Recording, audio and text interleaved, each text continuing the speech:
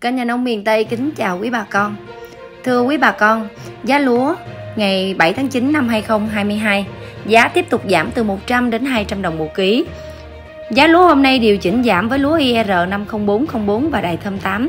Giao dịch lúa chủ yếu là lúa thu đông, lúa hè thu còn lại lượng ít, đa số đã cọc chờ cắt.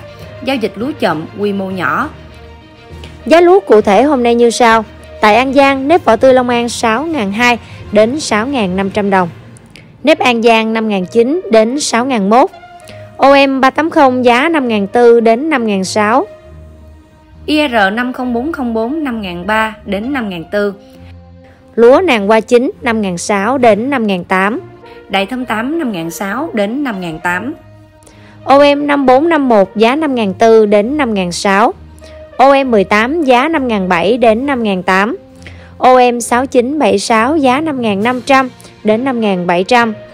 Nếp An Giang khô 7.500 đến 7.600. Nếp Long An khô 7.700. Tại Sóc Trăng, OM 380 giá 5.400 đến 5.600. Đầy tôm 8 là 5.500 đến 5.700. Lúa IR 50404 5.200 đến 5.400. VNR 20 5.600 đến 5.700. OM 4900 5.600 đến 5.800. OM 5451 giá 5.300 đến 5.600. OM 18 5.500 đến 5.600. Lúa tài nguyên 6.500 đến 6.700. RVT 7.200 đến 7.400. Lúa ST 24 là 7.000 đến 7.200. Lúa ST 25 là 7.001 đến 7.200. Tại Vĩnh Long, Trà Vinh, IR 50404 giá 5.400 đến 5.600. OM 5451 giá 5.400 đến 5.600. OM 18 5.700 đến 5.900. Đài thơm 8 cũng 5.700 đến 5.900. Tại Cần Thơ, IR 50404 giá 5.500 đến 5.600. Đài thơm 8 là 5.600 đến 5.800.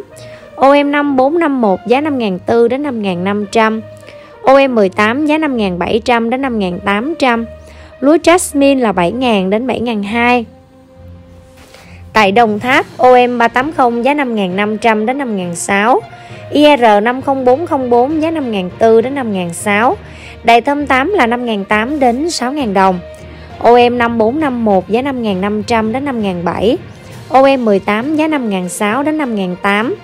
Nếp vỏ tươi Long An 6.001 đến 6.200. Tại Kiên Giang, lúa tươi IR 50404 giá 5.500 đến 5.700. OM 380 giá 5.500 đến 5.600. IR 50404 giá 5.400 đến 5.500. Đại thơm 8 là 5.700 đến 5.900. OM 5451 giá 5.500 đến 5.700. OM 18 giá 5.600 đến 5.800. Nàng qua là 5.700 đến 5.900. Lúa DS1 là 6.500 đến 6.700. Tại Long An, nếp vỏ tươi Long An 6.001 đến 6.300. IR 50404 giá 5.400 đến 5.600. Đại tôm 8 là 5.800 đến 6.000 đồng. OM 5451 giá 5.500 đến 5.700. OM 18 giá 5.700 đến 5.800. ST24, ST25 dao động từ 7.200 đến 7.300. Bà con lưu ý, giá sẽ có sự chênh lệch tùy nơi và tùy theo chất lượng lúa nữa nha. Cảm ơn bà con đã theo dõi kênh Nhà nông miền Tây. Hãy à, nhớ nhấn nút đăng ký kênh cũng như bà con có thể bình luận vào kênh để trao đổi thêm. Xin kính chào.